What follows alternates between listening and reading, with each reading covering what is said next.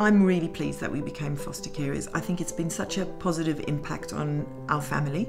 My husband and I decided that we could um, make a change and I could give up work so that I could stay home to look after our small children.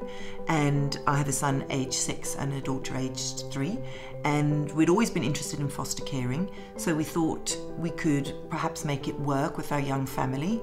At first, we were a bit anxious and a bit nervous, and um, I think that's probably true for most foster carers. But overall, it's been such a positive experience, um, both for myself, I'm the primary foster carer, and also for my husband. Uh, my children have really benefited as well.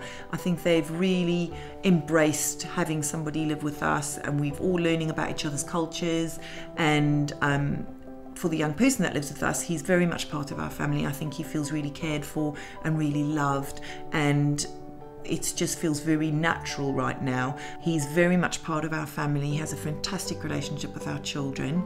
He's it's been wonderful watching him grow into a confident young man. Sometimes it still can be a bit of a challenge because it is somebody else living with you, but overall it's been an incredibly positive experience for us. And if you're thinking about it, please take the first step because it can be great for yourself and for someone else.